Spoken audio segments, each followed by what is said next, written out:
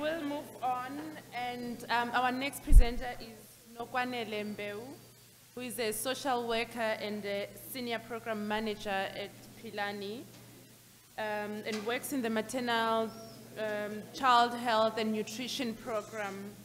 And Nokwanele will give us um, an overview of their mentor mother model.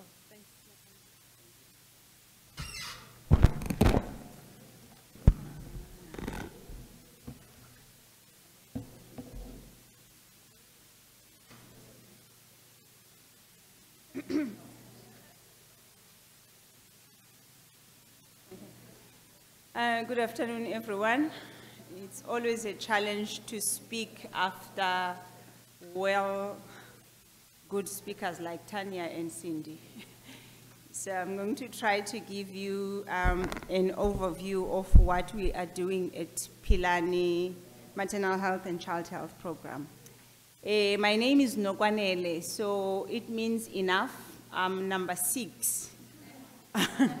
Actually, I'm number seven of eight daughters. So my dad was tired of girls. He wanted more boys. So I'm working at Philani. We are doing a mentor mother program. I'm going to call it a mentor mother program slash community health worker program because I want you to, to look at it as the current community health worker solution. Uh, we have 120 community health workers, mentor mothers in Cape Town. We have 75 in the Eastern Cape in OR Tambo district near Coffee Bay and Zithulele Hospital.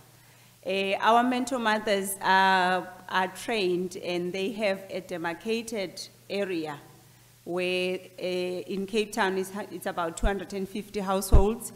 In the Eastern Cape, it's, Eastern Cape is 250 households, in Cape Town is 500 households because of density. And they have their allocated geographical area. They go in every house and knock and weigh every child from zero to six years. And they identify every pregnant woman in those houses. They also identify every home-based care client in those houses. So we believe that families should be treated with dignity and they should have one person serving them. So we, I want to say that, starting to talk about this, that we've made a lot of mistakes and we've learned a lot of lessons. And we feel that the lessons that we have learned, that we are still learning, we need to share with everybody that is trying to have a community health worker that is effective in this country. We have come into five things that we feel that are non-negotiables. For you to have an effective community health worker anywhere, you need to make sure that you first you recruit and select correctly. So recruitment, careful recruitment and selection, we feel that that is the first pillar. Why do we feel that? Because we look at the women that we are recruiting, we identify their coping mechanisms so that they can be able to go out and share first their coping mechanism before they are compared to professionals. Because their coping mechanism is the key to the home that they are going to serve. If you would ask me what are the coping mechanisms that we are looking for, a person who have managed to exclusively breastfeed for six months has a natural coping mechanism. A person who understands the importance of care, that person has a coping mechanism. A person who reacts on health of the child, take the child's sick care on time, has a coping mechanism. A person who have a structure in her day. Here, I think this wall is full of educated people. You can agree with me, if you don't have a structure, you don't have outcomes in your life. So there are mothers out there who have a structure. What would be a structure of a mother? To wake up on time, to know the feeding time, to know the cleaning time, to know everything so that that child is not fed every five hours. A person who understands the importance of education. Because if you understand the importance of education, it means that you won't relax when your children are not in a good school. And you won't be able to compromise your children, not take them to school. So for us, those are our coping mechanism. And a person who has a routine in her life and understand also that the children are important and take care of them. Person who's dignified and the community helps us to identify this person. Minimum standard of education is also important so that you can be able to read and write in English, but the important thing is to understand your own language. So this person also does not have to drink. So you cannot own a shebeen and be a community health worker. We've seen that in OR Tambo for the community health workers that are employed by government. Then you cannot have any outcomes because we know how alcohol contributes into our health. So what is the second uh, pillar that we think is important? Training. There's training everywhere. Oh, have I two, two minutes? There's training everywhere, but there needs to be a behavior change uh, linked to training. So our training is more behavior change. Are you able to, o- to change your own behavior during training? Are you able to effect in anyone in your life? Do you have respect? Are you listening? There are so many people that are missed in the health system because people do not have to, do not listen to the clients. Do you understand the situation of the client at home? Can you meet her on halfway? So our training is four weeks in class and six weeks in the field so that a person can be able to see, am I taking this job knowing what I'm getting myself into? And also after that, after they've worked for six months in the field, have mastered the weighing and plotting and rehabilitation of children at home and picking up pregnant women, they are trained on mental health, they are trained on ECD, they are trained on many other things that my colleague that is after me will add. So that duration of the training is six, six weeks, but after that there's continuous training after people have, have ma- mastered their work. But what is most important, we say to our mentor mothers, plan, be prepared, act, and evaluate your actions. So all the time that is a process. And it also trained them that, to understand that change is slow, it's done in a relationship, it is very slow, it can be done in steps so that we can be able to achieve. The third pillar is action-oriented intervention. I saw here that our community health workers are used as a referral system and assessment. We need to expect them to intervene in the home. There is intervention that happens. I'm not a handout person. That is why I was asking my colleague from KwaZulu-Natal, what are the sustainable issues that one can bring into the home? Because once you give handouts, it's a very easy intervention to do, and then you forget about that person. But if you are taking the difficult part of intervening, something has to change in a home when you get into a home as a health worker. What changes? I just want to show, tell you a story of one client that I had in Kuyasa. This client was HIV positive with a disabled child who was five years, disabled HIV positive child. The client was defaulting treatment herself. She was six months pregnant. How many clients are there, nurses? Many clients within that household.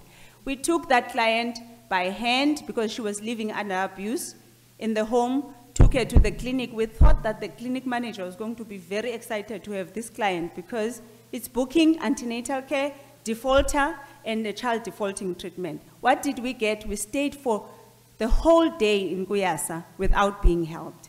But the next day we went, the doctor who saw us said, Thank you, community health workers. That's the attitude we need from every professional. Please work with us. So this client, because she was living under abuse, she wanted to leave her husband. That doctor helped us. He did transfers. He gave the treatment to all these three clients of ours. We took her, we gave her money, we took her to the bus. She called us the next week and said, I'm safe home and I'm back to the clinic and I'm with my family. That's action oriented intervention. But this work cannot be done without supervision and support. That brings us to the fourth pillar. team leaders that are sitting in the clinics, and they are called team leaders that are working with community health workers, let's not do it this way. It's wrong. Team leaders need to be dirty, their feet and their hands in the community. We have professional nurses that are going out for five days, be it raining, sunshine, windy, they are out in the field. But they have cars, government of South Africa. We provide cars to them. You cannot expect a professional nurse to work with a community health worker. Allocate a car to that professional nurse so that the professional nurse can be out in the field daily. We see real poverty. In the clinics, we, you don't see it. We see it head on. We see it head on. We see things that you don't even imagine that are existing in this country because we go into homes. And when we go into your clinics with these clients, a little bit washed, make sure that you cooperate with us. So without supervision, without continuous supervision, a community health worker is useless. Community health workers are so clever they do your 120 visits in one day and they sit in their homes. Without supervision, this program is, is dead. It is dead. But also with this, what I like about supervision, if a professional nurse undresses a child who has pneumonia, now I'm coming to the community health workers being able to detect and identify issues that are of uh, priority.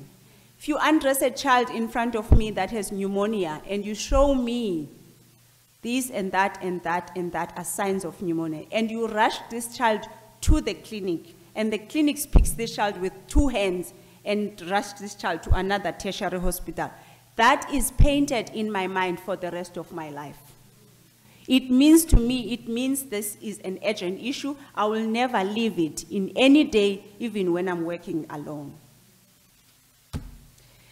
Uh, also, the last one uh, pillar that I, I, don't like it, but I, am learning to love it. It's called uh, M&E. I feel it is a slang. I feel it is for educated people. I feel that is going to make us forget what we are there for. But I like it in the sense that it is performance feedback to me as a community health worker. If I have 100 pregnant women, and believe it, we have, our community health workers have 100 pregnant women in their caseloads. They have folders. If I have 150 of them are HIV positive, and I know the whole 50 is on treatment, I say to myself, I've met the target. So I'm able to tell my boss that this is my work. No one can come and say, I'm not performing. So we have clear targets for our mentor mothers. They meet the targets. We have clear outcomes. If you take a community health worker in fives and you say go into ho this home, they will not be able to be effective. But if you give them targets and you hold them accountable, they will be able to be happy. But this last thing I want to talk about is the tools. You know, I worked with the community health workers uh, in 2002 of this province they had these IMCI forms. Some of those forms, if you look at them, they were like upside down because they didn't mean anything to them. But if you have folders as a community health worker, you have something. But give them tools. Without a scale, how do I detect malnutrition? You know, without a thermometer, how, how do I detect, you know, temperature? You know, without everything that is needed out there, how do I function? Please make sure that you use community health workers in a way that is effective. There is a lot of potential in this cadre, and please respect them.